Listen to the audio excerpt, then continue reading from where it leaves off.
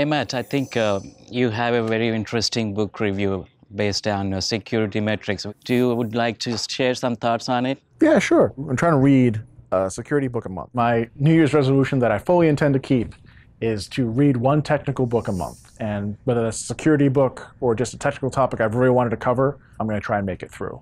So the first one for this year is Security Metrics by Andrew Jaquith. It's actually a, a rather old book in terms of uh, technology books. Technology books have a very short half life, yeah, but, but it's still one, relevant. This one is still relevant, yeah. absolutely.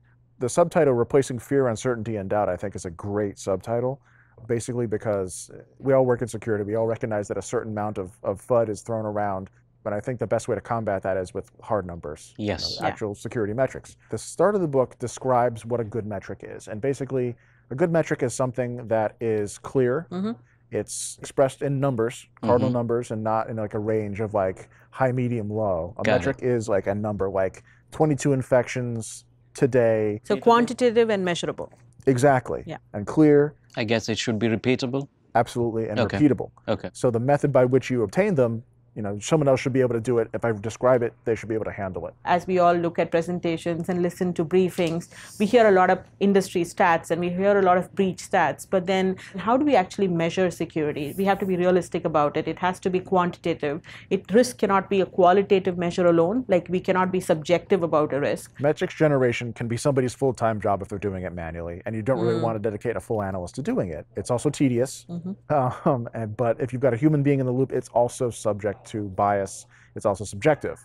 Yeah. So the more that you can turn it into an automated collection process, right. the better. We want it to be scalable, right? So you cannot have you know analysts sitting and doing this, especially with the way networks are evolving. You mm-hmm. really cannot have somebody manually collecting all of this. Well, absolutely. Yeah. Imagine trying to collect metrics for like a cloud deployment yeah. of a bunch of machines that may only last for a couple of minutes each. Yeah. They talk about ways to express those numbers in meaningful ways, to condense raw logs mm-hmm. or you know other other measurements into summary data. Mm-hmm. And I thought it was very interesting. They started talking about averages. Now, if, you know, any school kid knows how to calculate the average of something, and people generally will think, well, averages that that should be a perfectly acceptable way of expressing security metric data, right? Mm-hmm. But they make a very good case for using other things like mean, like every month.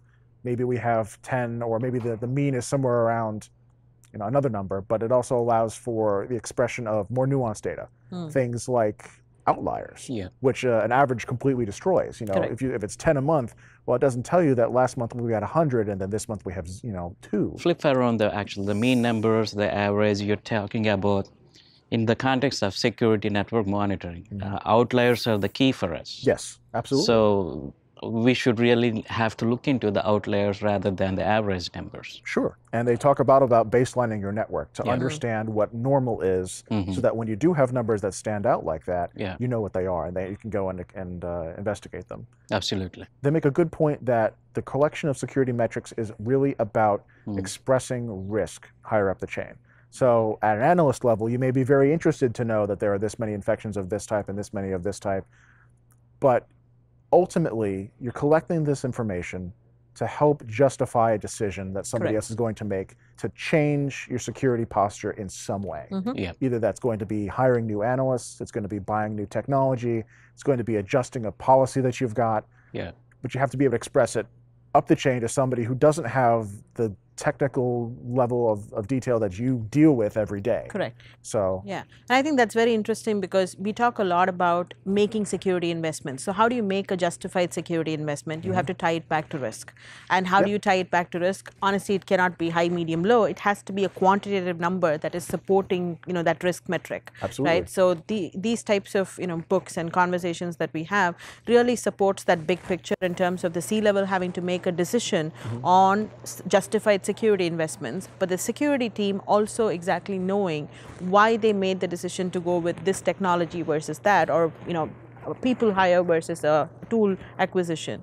I think it goes back to saying, hey, we all need to be able to have measurable data that we can provide as we are doing our security jobs. I agree. I, I thought it was a really good book. Yeah, there are certain parts of it, certain frameworks they tried to describe that I don't deal with on uh-huh. a day-to-day basis. I'm sure that if I were to hand this book to people up my chain, they might be familiar with them and get more have a more appreciation for what's being discussed in those chapters. Mm-hmm. But the sections about collecting metrics, the lists of example metrics, things I wouldn't have thought of to collect are really great. And I would still recommend it, even though this, I think it was written in 2007, Wow. It's still solid. I think this is a good book to start with, especially if you're in the world of sort of talking to your board about, you know, what security investments you're making, how did you align it to a risk profile, what is it that you're measuring in terms of security, and it actually will mean something to those executives when you can justify those decisions being made.